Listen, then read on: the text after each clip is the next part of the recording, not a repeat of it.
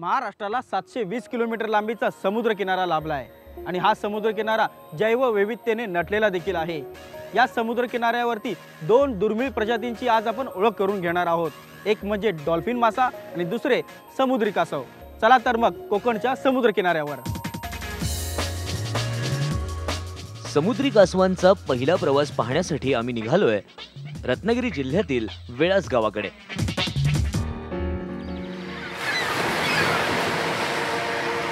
वेळासगावचा हा विस्तीर्ण समुद्र किनारा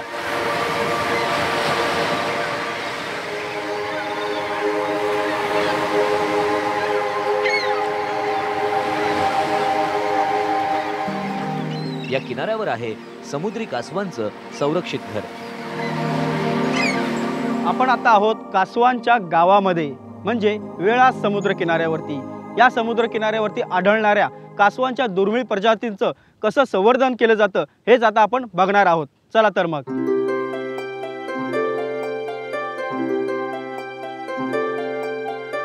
चारही बाजूंनी तारेच्या कुंपणांनी बंदिस्त असलेली ही जागा खास कासवांसाठी आहे. कासवांची अंडी सुरक्षित राहावीत म्हणून सह्याद्री निसर्ग मंडळ आणि कासव मित्र मंडळ यांनी हे कासवांच्या संरक्षणासाठी घर बनवलंय. या समुद्रकिनाऱ्यावरती जी अंडी मिळतात ती आपण जी हॅचरी बघतोय त्या हॅचरीमध्ये ती आणून अंडी संरक्षित केली जातात. कुत्रे कोल्हे किंवा बाकीच्या प्राण्यांपासून संरक्षित करण्यासाठी या हॅचरीमध्ये ती अंडी ठेवली जातात. त्याचप्रकारे आपण जिथे बघताय ह्या काठ्या लावलेल्या आहेत. काठीच्या प्रत्येक बाजूला त्या बाजूला अंडी नेस्टिंग ठेवलेली आहेत. आमच्या लक्षात येण्यासाठी की त्या अंड्यांवरती पाय पाडायला नको. याच्यासाठी ह्या खुणा तिथे लावलेल्या असतात. जसं कासव समुद्र किनाऱ्यावरती येऊन खड्डा करतं त्याच प्रकारे इथे तेवढ्याच लांबीचा तेवढ्याच रुंदीचा आणि तेवढ्याच खोलीचा खड्डा तयार केला जातो. त्याच्यामध्ये अंडी पुन्हा तशीच संरक्षित केली जातात. पंचेचाळीस ते पंचावन्न दिवसांनंतर त्या अंड्यांमधनं पिल्लं बाहेर यायला सुरुवात होते. आणि ह्याची सुरुवात अशी होते की आपण जशी वाळू बघताय वाळूला हळूहळू थोडा खड्डा पडायला लागतो. आणि ज्या वेळेला आपल्याला नेस्टिंग मिळतं त्याच्या तारखा आपल्याकडे नोंद केलेल्या असतात अंड्यांची संख्या नोंद केलेली असते. ज्या वेळेला ती वाळू हळूहळू खाली सरकायला लागते त्यावेळेला आम्हाला एक साईन मिळते की आतमध्ये अंडी अंड्यांमधनं पिल्लं बाहेर आलेली आहेत आणि हळूहळू ती वरती येणार आहेत. आणि मग त्याच्यावरती टोपल्या ठेवल्या जातात. टोपल्या ठेवण्याचं कारण एवढंच आहे की वरना उडणारे पक्षी किंवा खेकडे यांच्यापासून त्यांचं संरक्षण केलं जातं. आणि मग त्यानंतर ती पिल्लं ज्यावेळेला स्वतःहून वरती येतात तेव्हा त्यांना आपण पाण्याच्या जवळ ठराविक अंतरावरती नेऊन सोडतो आणि त्यांना पाण्यात जायला देतो. अंड्यामधनं पिल्लू बाहेर आलं की साधारणपणे चार ते पाच दिवस ते आतमध्ये असतं. हळूहळू ते वरती येण्याचा प्रयत्न करतं आणि त्याच प्रयत्नामध्ये त्याची वाळू ती खाली सरकते. अंड्याचा जो भाग असतो तो भाग वाळू कव्हर करते आणि हळूहळू पिल्लू वर येतं. कधी असं होतं की नेस्ट ओपन झाल्यानंतर एखादंच पिल्लू वरती येतं आणि तो जो वाट तयार करतं वरती यायला. बाकीच्या पिल्लांना ती मदत असते की ती वाट शोधायची त्यांना गरज लागत नाही. त्याच वाटेतनं ती पिल्लं बाकीची वरती येतात आणि मग आपण त्यांना पुढे समुद्राकडे सोडतो.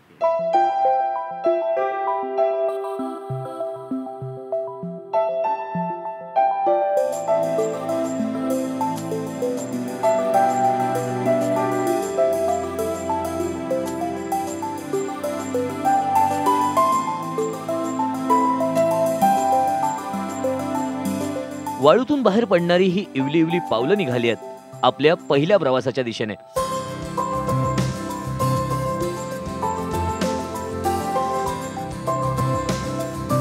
अंड्यातून बाहेर आल्यानंतर मऊगार वाळूच्या कुशीतून अलगद बाहेर पडणारी ही समुद्री कासवं आहेत ऑलिव्ह रिडले प्रवर्गातील.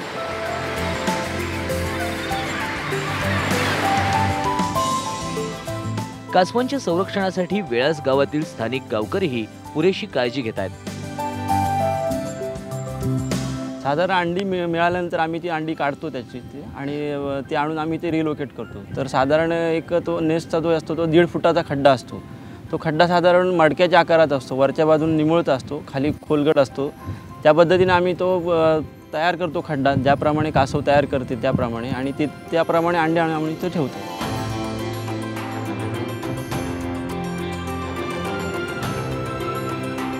वेळासच्या या किनाऱ्यावर वर्षभरात दोन हजाराहून अधिक कासवांची अंडी संरक्षित केली जातात. खोल समुद्रातील मादी कासव विणीच्या हंगामात हजारो किलोमीटरचा प्रवास करून निर्जन किनाऱ्यावर अंडी टाकण्यासाठी येते. किनाऱ्यावर आल्यानंतर मादी कासव भुसभुशीत वाळूत एक फूट खोल खड्डा खणते आणि त्यामध्ये अंडी टाकते.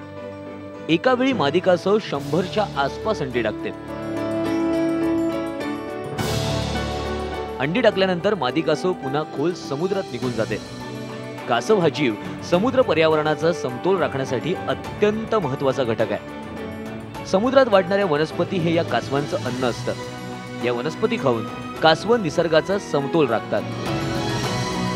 अशा या महत्त्वपूर्ण कासवांचं रक्षण होणं हे आपल्या सर्वांसाठी महत्वाचं आहे.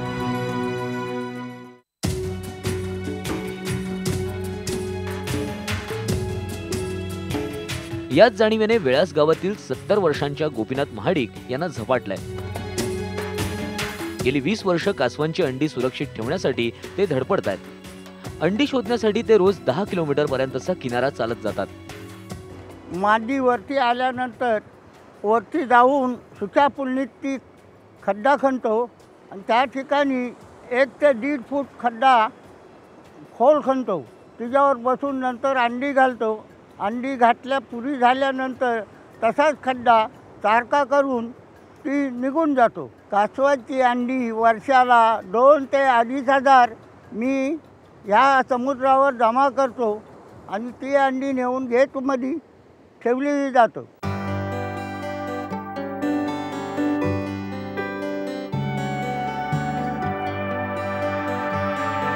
सध्या वेळास गावातील दोन पिढ्या कासव संवर्धनाचं काम करतात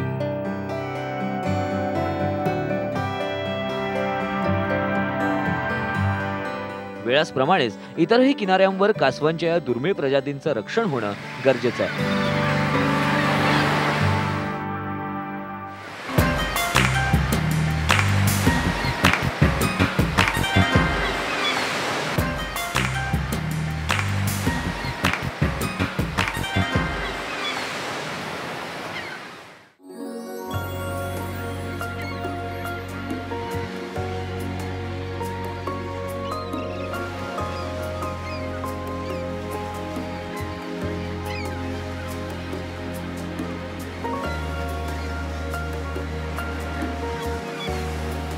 आपण आता आहोत कासवांच्या गावामध्ये म्हणजे वेळास बीचवरती आपण ह्या बीचवरती बघू शकता की हजारोंच्या संख्येने पर्यटक जमा झालेले आहेत कासव बघायला आलेले आहेत.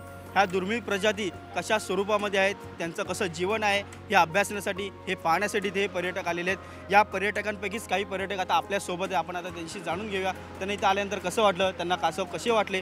तुम्ही मला सांगा तुम्ही ते कासव बघितलेले आहेत. दुर्मिळ दुर्मिळ प्रकारचे जातीचे हे कासव आहेत. काय वाटलं तुम्हाला बघून? खूपच छान एक्सपिरियन्स होता. Once in a lifetime असे कासव मी याच्या आधी कधीच बघितले नव्हते. आणि इथले लोक आणि जेवढं त्यांनी या कासवांसाठी केले ते खूपच छान आहे. तुम्ही काय सांगाल काका? हा उत्सव अतिशय उत्कृष्ट आहे. आणि ज्या प्रकारे त्याची योजना केलेली आहे ती पण फार चांगली आहे. ते कळल्याबरोबरच आम्ही पुण्यावरनं आम्ही सर्व फॅमिली मेंबर्स आणि नातवंड इथं हे बघण्याकरता आलो. आणि ह्याचं नियोजन फार उत्कृष्ट प्रकारे केलेलं आहे. आणि मजा आली मुलांना आणि नातवंडांना सगळ्यांना बघायला. तुम्ही काय सांगा? तुम्हाला हे कासव फेस्टिवल कसं वाटलं ह्या नवीन जनरेशनला निसर्गावर प्रेम करावं कसं? हे दाखवणारा हा उपक्रम आहे. आणि ते बघताना देवाची सारखी सारखी आठवण होते की देवाने इतकं सुंदर जग आपल्याला दिलं आणि त्याचं आपण जतन करायला पाहिजे. कासवांचं हे जे प्रोटेक्शन चालले पर्यावरणाचं प्रोटेक्शन करायला पाहिजे. ते खूप चांगल्या तऱ्हेने इथे तुम्ही दाखवून दिलेलं आहे. तुम्ही यावर्षी इकडे आलेले आहेत. पुढच्या वर्षी तुम्ही येणार का? नक्कीच नक्कीच डेफिनेटली येणार. कारण इथे आल्यानंतर जी मनशांती मिळते ती म्हणजे शब्दांच्या पलीकडे.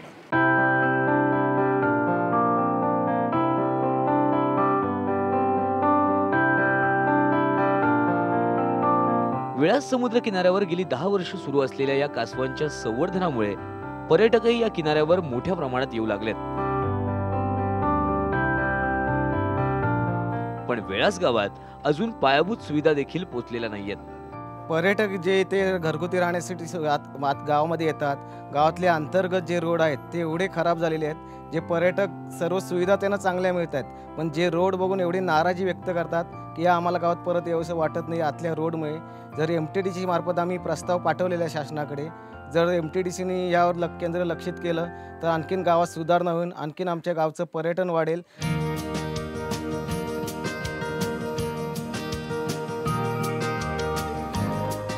येणाऱ्या पर्यटकांना सोयी सुविधा देण्यासाठी आता गावकऱ्यांनीच पुढाकार घेतलाय. गावातल्या स्थानिक रहिवाशांनी त्यांच्या राहत्या घरीच येणाऱ्या पर्यटकांची राहण्याची आणि जेवणाची सोय उपलब्ध केली आहे. राहण्याची सोय पर्यटकांना.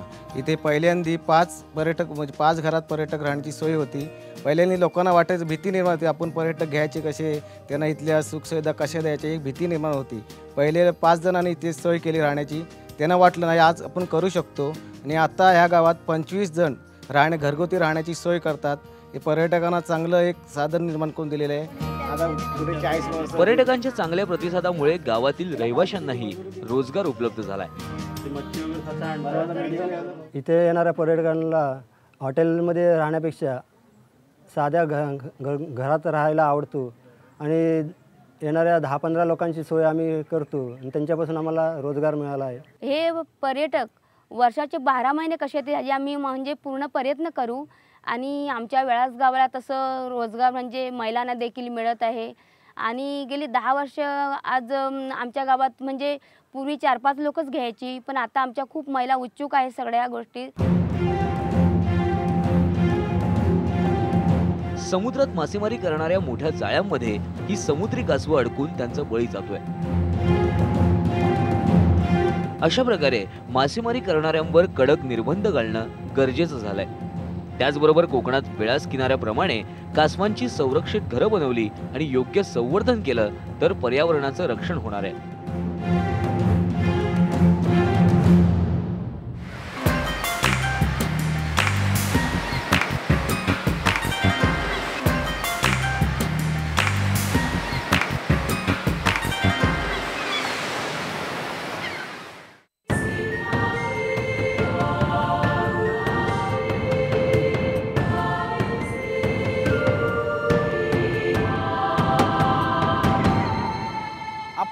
आहोत मुरुड इथल्या समुद्र किनाऱ्यावरती. या समुद्र किनाऱ्याचं वैशिष्ट्य म्हणजे तुम्हाला आम्हाला आवडणारा डॉल्फिन मासा अगदी सहजपणे इथे बघायला मिळतो. तोच आता आपण इथे बघणार आहोत. चला तर मग डॉल्फिन बघायला.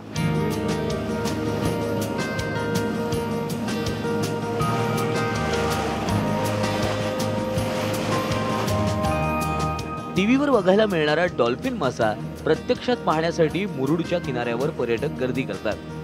डॉल्फिन्स फक्त आपल्याला टी व्हीवरती आणि चित्रांमध्येच पाहायला मिळतात. पण खरे खुरे डॉल्फिन बघायचे असतील तर महाराष्ट्रातल्या मुरुडच्या किनाऱ्यावरती यावं लागतं. असेच काही पर्यटक इथे आलेले आहेत. आपण त्यांच्याशी बोलूया. तुम्ही मला सांगा तुम्ही त्या डॉल्फिन फेस्टिवलमध्ये डॉल्फिन बघायला आलेले आहात. किती डॉल्फिन्स बघितले?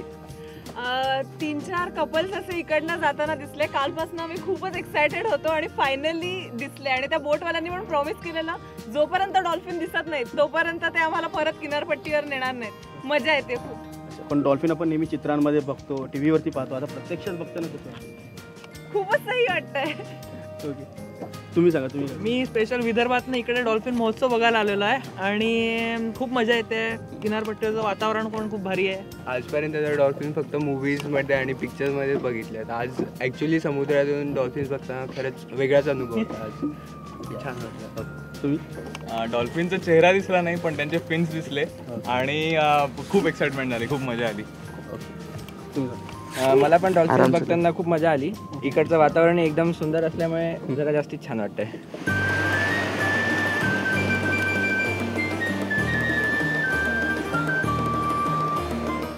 मुरुड जवळचा समुद्र किनारा डॉल्फिन माशांसाठी पोषक असल्यामुळे इथे उत्तर किनाऱ्यांच्या तुलनेत सहज डॉल्फिन आढळतात. फक्त या डॉल्फिनना पाहण्यासाठी बोटीतून समुद्रात फिरावं लागतं. बहुत अच्छा डॉल्फिन्स भी हमें देखने को मिले टर्टल भी देखने को मिले हमें बिल्कुल भी उम्मीद नहीं थी but it was wonderful experience बहुत मज़ा आया। मुरुडला येऊन खूपच छान वाटलं मला. हा फेस्टिवल दरवर्षी व्हायला हवा. आपल्या इथले पर्यटक बाहेरच्या देशात एन्जॉय करण्यासाठी जातात. पण हे आपल्याला कोकणातच मिळत आहे तर लांब जाण्याची गरज नाही आहे आपण इथेच एन्जॉय करू शकतो.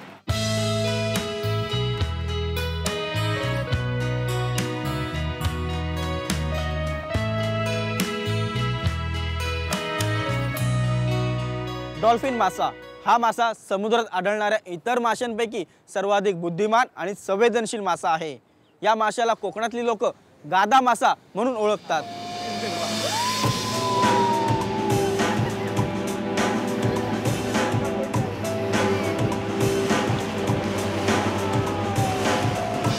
डॉल्फिन मासा बघायला येणाऱ्या पर्यटकांमुळे मुरुड गावातील रहिवाशांनाही चांगला रोजगार उपलब्ध झालाय. इथल्या स्थानिक लोकांना रोजगार मिळतो आहे आणि या फेस्टिवलमुळे की इथले पर्यटक हे वाढलेले आहेत आणि त्यामुळं आम्हाला इन्कम हे आमचं वाढलेलं आहे. आणि ह्या बोटिंगमुळे आम्ही लोकांना दहा दहा पर्यटक आम्ही घेऊन जातो आणि त्यांना डॉल्फिन दाखवतो.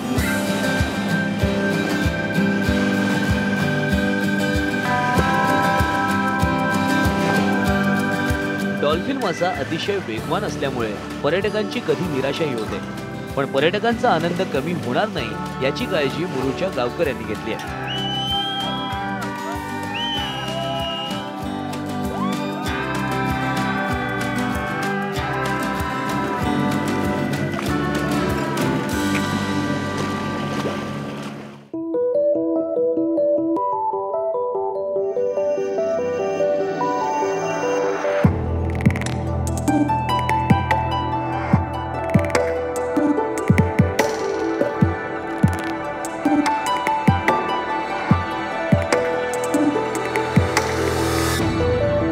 कोकणच्या किनाऱ्यावर डॉल्फिन मासा आणि कासव या दोन प्रजातींचं संरक्षण घ्यायला आज अगदी मोजकीच गाव आहेत. या प्रजातींचं मोठ्या प्रमाणात संरक्षण केलं गेलं तर पर्यटनालाही चालना मिळेल.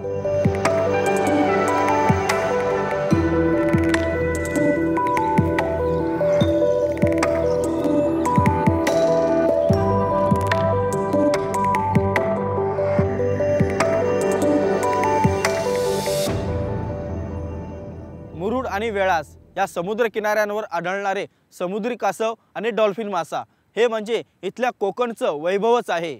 आणि त्यांना पाहायला येणाऱ्या पर्यटकांमुळे इथलं पर्यटन तर विकसित होतच आहे. पण त्याचबरोबर या दोन्ही प्रजातींचं जतन होणं संवर्धन होणं हे तुम्हा आम्हा सर्वांचं कर्तव्य आहे.